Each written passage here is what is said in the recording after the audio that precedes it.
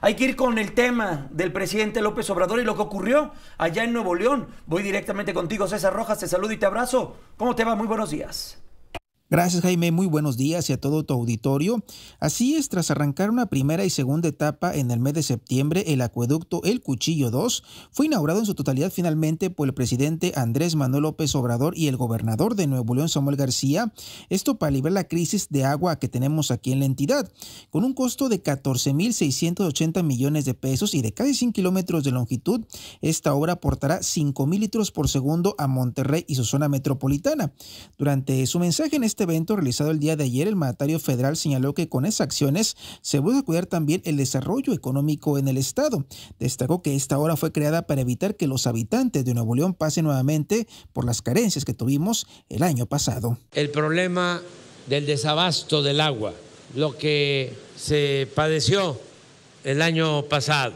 Tomamos el acuerdo, todos, de enfrentar el problema y ya hay una solución para mediano y posiblemente largo plazo, porque se va a tener más agua y tenemos al mismo tiempo que invitar a toda la población a cuidar el buen uso del agua.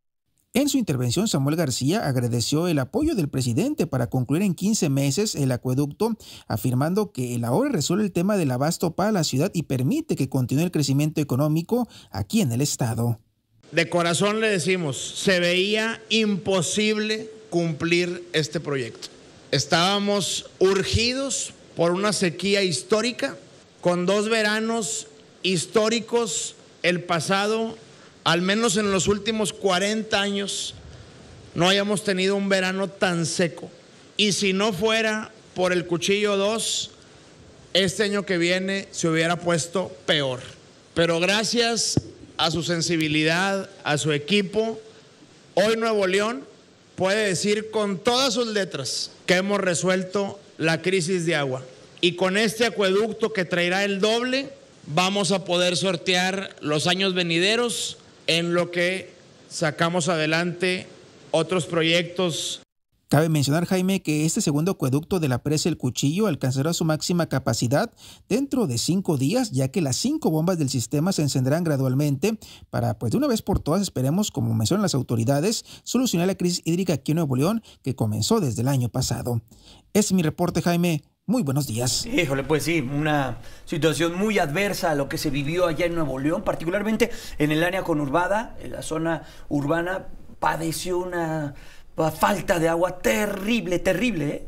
Tremendo para quienes vivieron esa etapa, fue, dicen, una pesadilla.